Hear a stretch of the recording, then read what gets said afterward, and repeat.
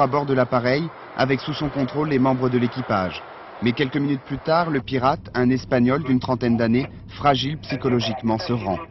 On s'est aperçu qu'il était en train de craquer et deux policiers sont montés euh, tout à fait habillés en civil et on sont approchés de lui et ont pu le maîtriser sans problème. Il n'y a eu aucune résistance et tout s'est finalement très bien passé. L'avion, un Airbus 300, était parti en fin de matinée des Baléares, direction Paris. Détourné au-dessus de la France, il s'était posé vers 13h20 sur l'aéroport de Genève. Pendant le vol, l'Espagnol qui voulait protester contre les essais nucléaires français avait menacé de faire sauter l'avion avec un appareil télécommandé.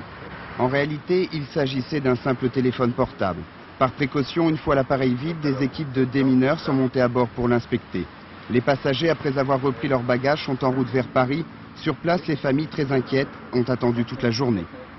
On est monté euh, attendre dans une salle exprès à côté de tout ça, et puis euh, on était tous angoissés, on attendait d'avoir des nouvelles, mais euh, je ne sais pas pour ça. Mais là, ça va un peu mieux quand même de savoir que ça s'est arrangé. Soulagés après l'annonce de la libération, les passagers devraient retrouver leurs proches très bientôt.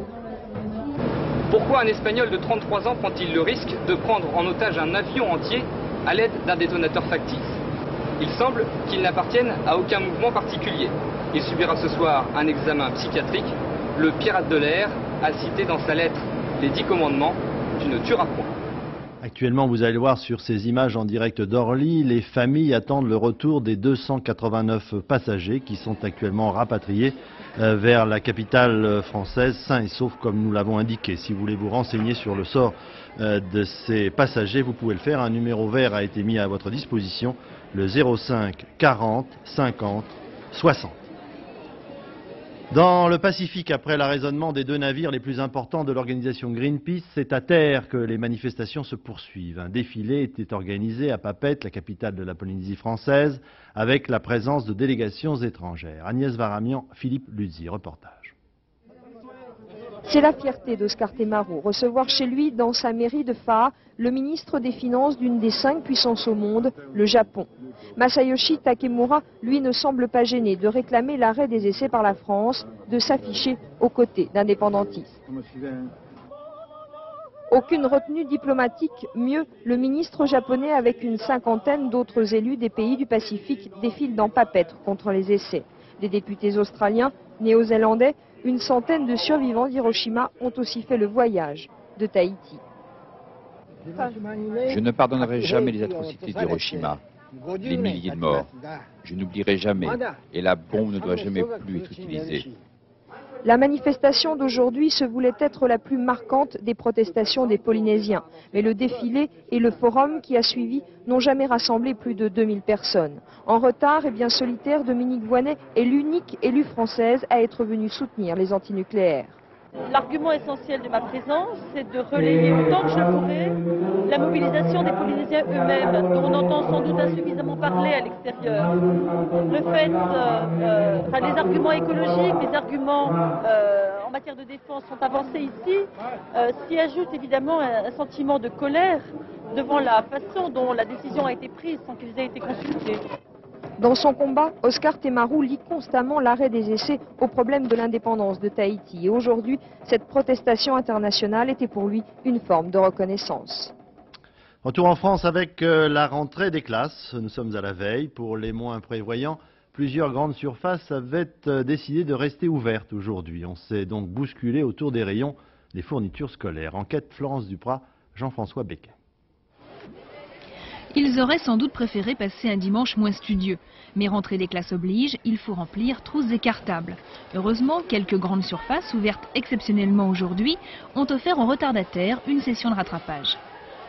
Je suis arrivé de vacances hier, donc euh, j'en profite, ça soit ouvert dimanche. C'est pas que je m'y prends la dernière minute, c'est quand je suis venu la dernière fois, il manquait la moitié des fournitures, donc euh, je regarde si je retrouve le reste qui manque. Il y a les organisés qui suivent scrupuleusement la liste de la maîtresse et les autres un peu perdus. Tout ça est bien mélangé, puis bon, on cherche. Bah pour l'instant justement je voulais acheter des stylos bic, euh, vous savez chaque couleur, un bleu, un rouge, un vert, ça il n'y en a pas.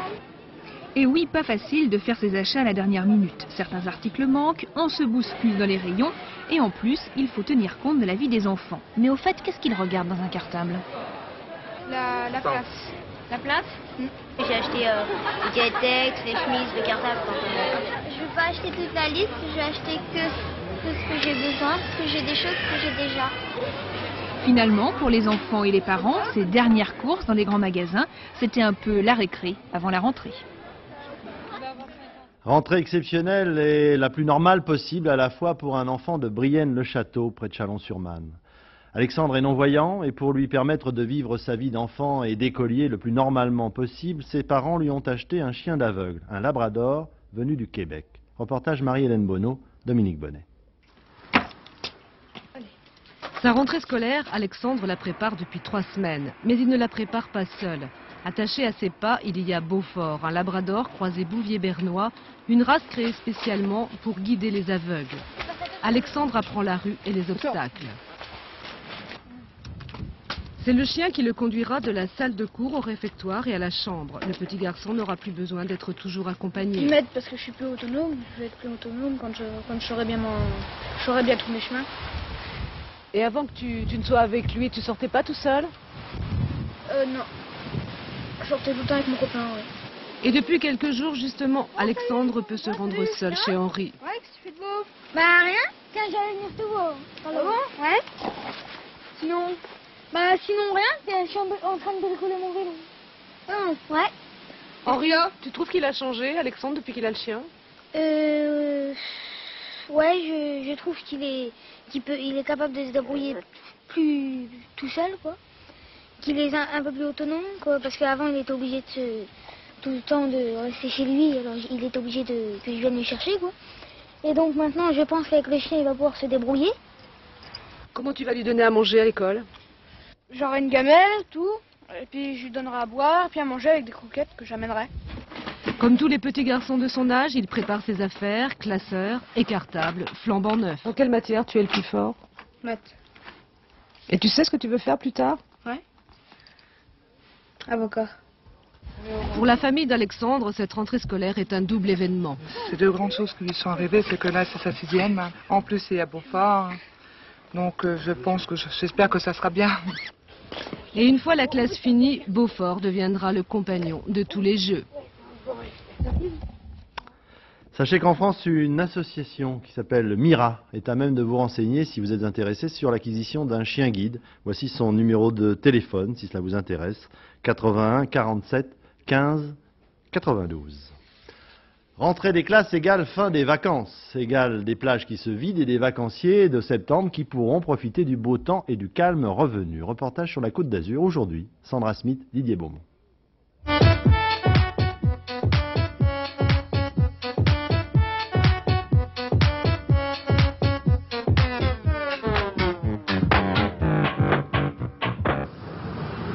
Le tempo s'est ralenti, la fièvre de l'été retombe. Les plages d'Antibes ou de Juan-les-Pins prennent leur quartier de basse saison. La fréquentation touristique est en chute libre. Certains observateurs basés à des postes stratégiques le confirment. Aujourd'hui, c'est mal. Hier, il y avait du monde encore sur la plage là, et jusque là, dans le coin. Et maintenant, aujourd'hui, vous vous rendez compte, c'est 10 heures d'habitude, c'est plein partout, les voitures et tout. Maintenant, c'est fini. Fini, pas tout à fait. Les plages et les snacks ne ferment pas avant le 30 septembre. Mais les rideaux sont tirés dans la majorité des appartements d'été. Une nouvelle clientèle investit les lieux. Pendant que certains préparent les cartables, d'autres savourent cette arrière-saison. C'est excellent, c'est bien. C'est un peu trop froid à la mer, mais c'est bien.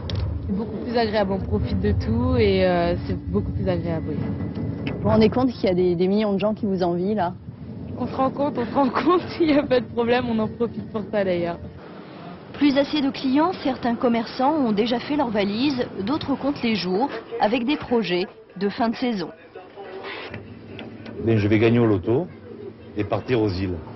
Farniente totale. Mais pas besoin de partir si loin, le tempo du mois de septembre se prête à la douceur de vivre. Pour les autres, ce n'était qu'une petite carte postale pour vous souhaiter une excellente rentrée. L'été encore pour des universités, cette fois-ci politiques. Les socialistes étaient réunis à La Rochelle, l'occasion pour M. Lionel Jospin de préparer son arrivée à la tête du parti. C'est prévu à l'automne. Reportage Guylaine Chenu, Michel Gianoulatos. Un petit air de déjà-vu. Une fois encore, Lionel Jospin est arrivé dans son costume de présidentiable. Un costume qui a fait sa fortune puisque depuis, il est le patron des socialistes. Pour quelques semaines encore, avant d'être élu par les militants, Lionel Jospin cohabite avec Henri Emmanueli, le premier secrétaire.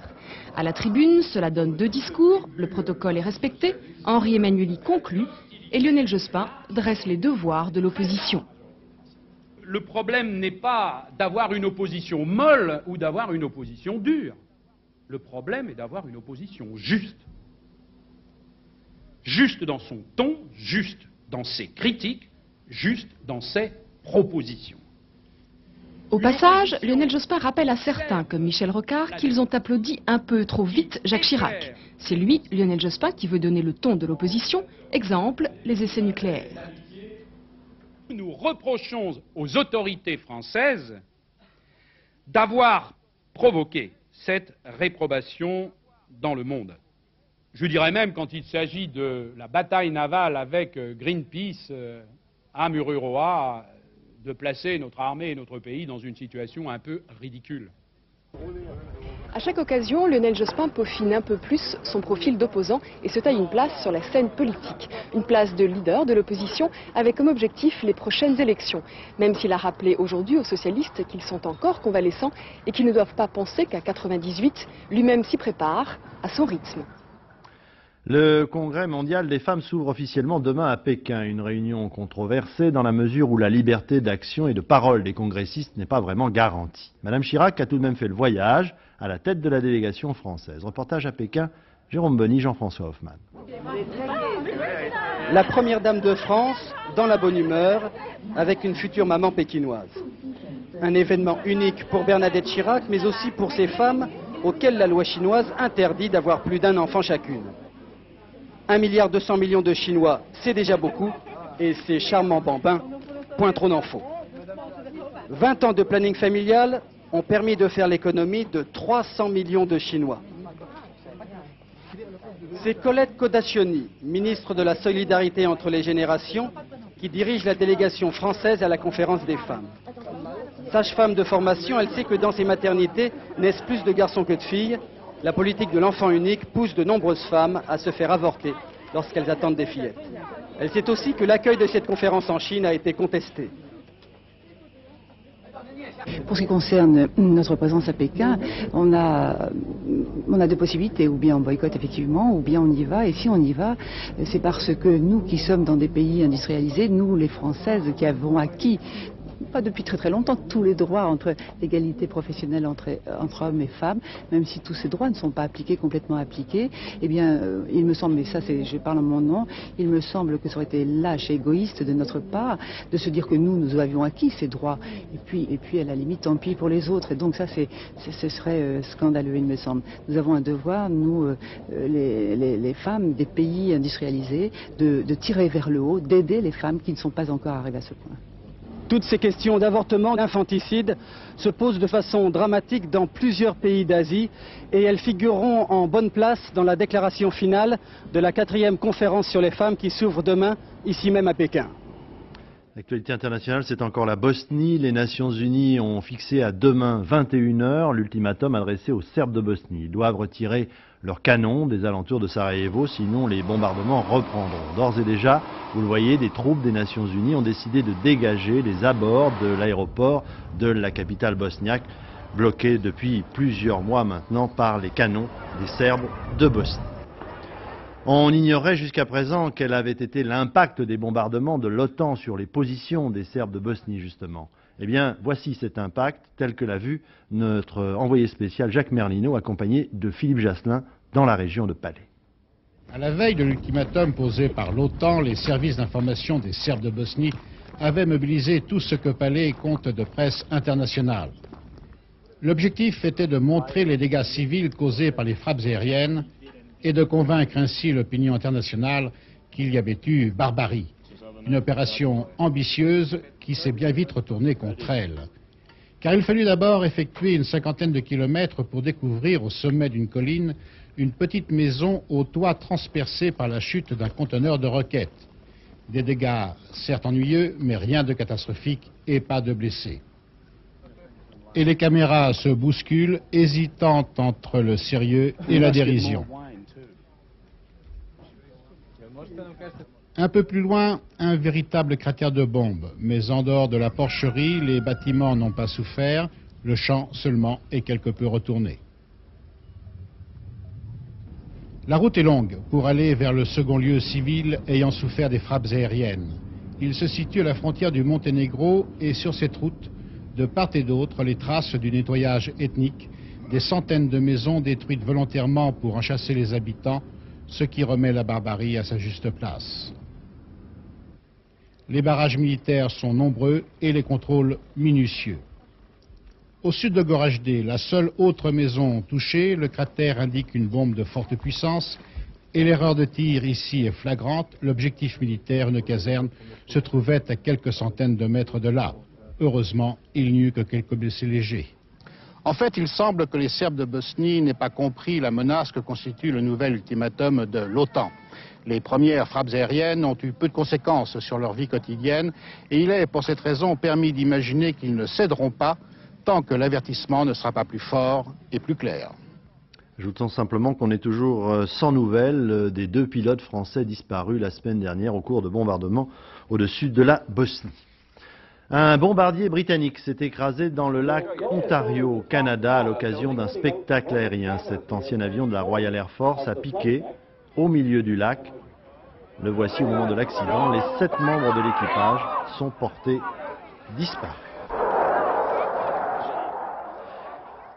Les traditions françaises maintenant, traditions qui remontent à la nuit des temps. La braderie de Lille, le premier week-end de septembre, à mi-chemin entre la Ducasse, comme on dit là-bas, et le marché aux puces. Pendant 48 heures, les Lillois vident leur grenier, tout est à vendre, et on mange des moules avec des frites. Reportage, Marianne Mass, Gilles Balbastre. On va laisser refroidir un petit peu. Ah bah attends, je vais te mettre Sous les arbres de l'esplanade, ça sent encore un peu les vacances. Ambiance chaise pliante et but à gaz. Il est 9h, la braderie s'éveille. Remettez-nous, nous. On avait acheté beaucoup de fromage blanc qu'on a très mal vendu, alors on le mange. Avec du café. Et moi je suis de la soupe à l'oignon. C'est la première fois que je viens à Lille. Et vraiment, c'est terrible, il y a des tas de choses ici. Alors qu'est-ce que vous aimez le mieux à la braderie? Les moules, puis fouillés dans les tas d'affaires. La braderie, c'est de l'histoire ancienne, mais chaque année, c'est la même musique. On troque des trucs en toc, du bric-à-brac ou des locs. Sur 150 km de stand, une énorme machine à descendre les greniers et à remonter le temps. Ça, c'est du portable. hein. non, c'est pas du portable. Je vais pas le brancher dans ma télé, hein, dans ma, je vais pas le brancher dans ma voiture. hein. Que venez-vous d'acheter? Un vase qui est très ancien, mais je ne sais pas exactement ce que c'est. Difficile d'évaluer la quantité d'argent qui passe de porte-monnaie en porte-monnaie pendant ce week-end. L'essentiel, c'est bien de se faire plaisir et pas forcément de dépenser utile. Un achat qui reste incontournable, par contre, à la braderie, la portion de moules frites. Est-ce que faire la braderie, c'est forcément manger des moules? Ah, obligé. Obligé. Obligatoire. Au moins une fois. Sachant que 2 millions de personnes étaient attendues cette année et que 500 tonnes de moules finiront au fond des estomacs, question combien de fois le bradeur moyen aura-t-il mangé de moules en un week-end? Ah, faites le calcul vous-même. Festivité encore dans la région de Bandol, dans le Var. Les vendanges ne commenceront là-bas que vers le 15 septembre, mais on fait déjà la fête. Yannick Aroussi, Jacques Garniche, reportage. Il n'a pas manqué d'humide cette année. Sera une bonne année. Dans un peu moins de deux semaines, les vendangeurs vont commencer à jouer du sécateur ici à la Cadière en plein cœur de l'appellation Bandol. Dernière inspection, aucun doute, 95 sera un bon cru. Dans l'ensemble, il est beau. Il est beau. euh, Moi, j'ai eu quelques problèmes avec le milieu, mais enfin, sinon, tout va bien. Quoi. Et pour célébrer 95 et tous les autres millésimes, la Cadière fête les vendanges. Tradition païenne aux airs de procession religieuse.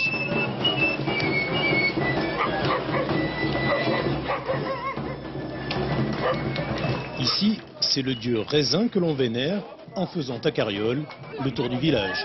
On a les fesses euh, qui font un peu mal, mais c'était super. Moi, j'ai écrasé le raisin tout le long. Écraser le raisin, c'est justement la première des choses à faire pour obtenir le vin. Ah, nous sommes en train de fouler le raisin. Il sera ensuite pressé dans le pressoir et vous sortira le mou que vous allez déguster. Le mou, c'est-à-dire le jus de raisin qui, après fermentation et transformation du sucre en alcool, donnera ce pourquoi tout le monde est venu à la Cadière aujourd'hui. Le blanc est bon, le rosé est parfait et le rouge alors est excellent. Et si la météo reste bonne, c'est-à-dire s'il ne pleut pas pendant les vendanges, la fête n'en sera que plus belle l'année prochaine. Le cowboy est le flic le plus célèbre des États-Unis est à Deauville pour présenter son dernier film, un rôle à contre-emploi, une histoire d'amour sur la route de Madison. Il s'agit de Clint Eastwood avec Meryl Streep. On dit d'ailleurs que les deux vedettes vivent le parfait amour en ce moment au cinéma comme à la ville. Nicole Cordu-Langlois, Jean-Louis Melin, reportage. Les festivaliers avaient pour Clint hier soir le regard de Meryl dans Sur la route de Madison car celui qui vient ici pour des rôles de cow-boy surprend et séduit à nouveau avec une simple histoire d'amour. Ce pont couvert de Madison County est le point de départ d'une passion fulgurante entre le photographe baroudeur et la fermière tranquille. Maladresse et trouble. J'étais en train de vous cueillir des fleurs. Oh. Les hommes font toujours ça, non? Je ne suis pas complètement démodé. Enfin, de cueillir des fleurs pour une femme en signe d'appréciation. Non, pas du tout. Sauf que celles-là sont vénéneuses. Je plaisantais. Pardon. Robert Kincaid est un homme fondamentalement solitaire. Et dans la rencontre avec cette femme, il réalise un rêve et trouve ce qui lui manquait.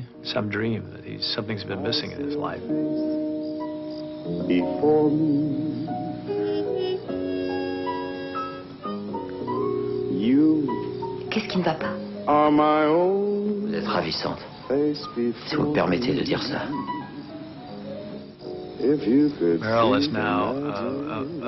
Meryl Streep a maintenant euh, suffisamment de maturité pour comprendre et exprimer les rêves et les frustrations de cette femme provinciale apparemment ordinaire.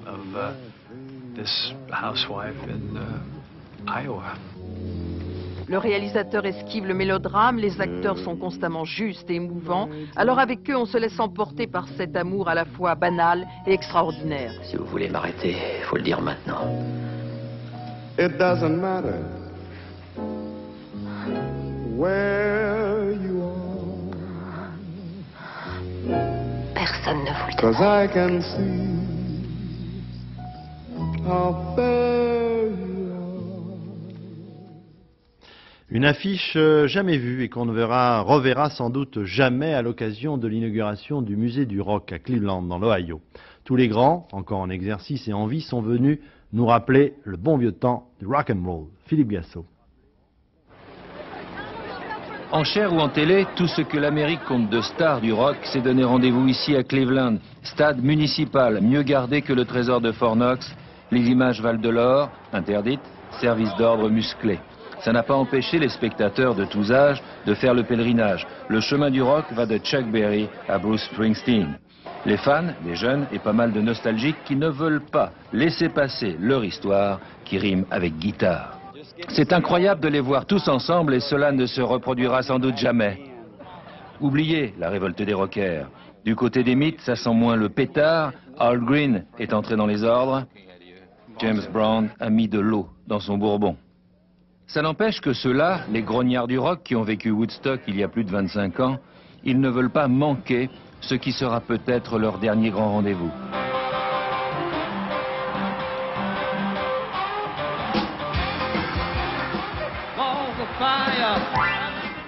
C'est vrai qu'il y a de quoi rêver. Springsteen en duo avec Jerry Lee Lewis, Shake It Baby.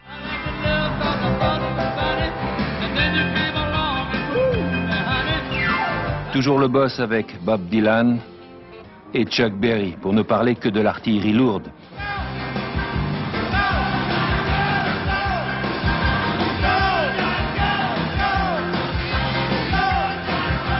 John Bon Jovi qui chante Lennon et 20 autres du même tonneau, qualité supérieure. James Brown va bien? Feel good. Ici aussi.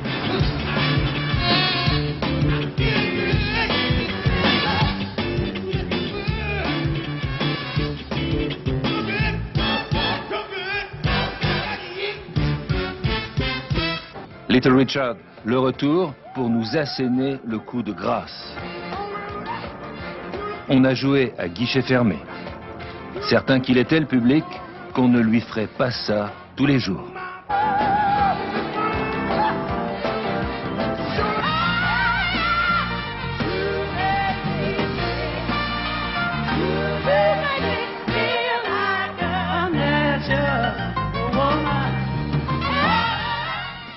Retour à l'actualité avec euh, l'arrivée en direct à Orly des passagers, Pascal Doucet-Bon, du vol d'Air Inter qui avait été détourné à la mi-journée. Pascal Ils, viennent d'arriver euh, à l'instant, Daniel.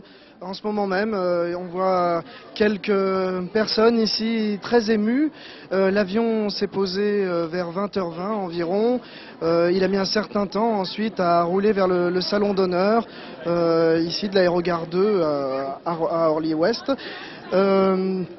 Euh, eh bien, finalement, on ressent un calme un peu plus grand que ce à quoi on s'attendait. Peut-être est Pascal Doucet-Bon, un passager derrière vous que vous pourriez interroger rapidement, juste Euh, derrière avec la chemise là. Je, je vais essayer de, je, je vais essayer de trouver le lui, monsieur oui. qui en ce moment est accaparé par, euh, par un collègue. Voilà. Bah, essayez de vous approcher de lui. Voilà. Bien, je crois qu'on a un petit problème de son. On va essayer de récupérer Pascal Doucet-Bon pour avoir une impression peut-être d'un passager Monsieur, tout de suite. monsieur, bonjour. Oui. Vous êtes en, vous êtes en direct sur France 2. Euh, Est-ce que vous pouvez nous raconter un petit peu ce qui, comment ça s'est passé? En fait, c'était très calme. Il y avait un parlement espagnol qui était contre les essais nucléaires, mais euh, je dois dire l'équipage de France Inter était impec et les Suisses étaient très très bien organisés et, euh, et les passagers étaient très calmes. C'était très très bien fait, très bien organisé. Il semble que le, le personnel de bord ait réussi à, à calmer très vite euh, le, le- le pirate de l'air. En fait, j'étais juste quelques rangs derrière la cabine de le pilote et c'était très calme. Et euh, je crois que c'était très, très bien organisé par les Français et les Suisses. Est-ce que vous avez eu peur? Est-ce que vous avez réalisé ce qui était en train de se passer? Oh, quelques moments d'inquiétude, mais euh, le vol était en provenance de Palma, donc tout le monde était calme après une semaine à Majorque. Donc c'était pas mal. Très bien fait par les Français et les Suisses. Merci, Pascal donc pour ce premier témoignage. Merci et puis d'autres témoignages bien entendu dans notre dernier journal aux alentours de 23h50 avec Florence Daucher. Avant ça, il y a la météo dans un quelques instants avec Sophie Davant. Ensuite, c'est le film James Bond. Demain matin, Gérard Leclerc recevra Bill Gates, le PDG de Microsoft. Ça, c'est dans Télématin. Et puis demain, début à 13h de Patrick Chen. Quant à moi, je vous retrouverai avec beaucoup de plaisir demain à 20h. Bonsoir, excellente soirée sur notre chaîne. À demain.